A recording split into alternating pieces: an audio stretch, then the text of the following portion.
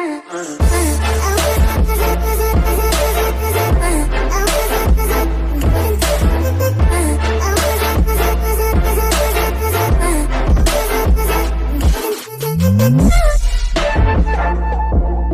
hey what's up y'all today I'll be doing Milip so then in the comment section. Today I'm back with another interesting part of Dayquest message for me and this is going to be part 2 if you want watch the first part then you can check out our channel for the first part and I will provide the link in the description so let's get into the video. Make sure to like the video and subscribe to channel and press the bell icon for the latest notification. Till then take care. Bye bye and see you guys in the next video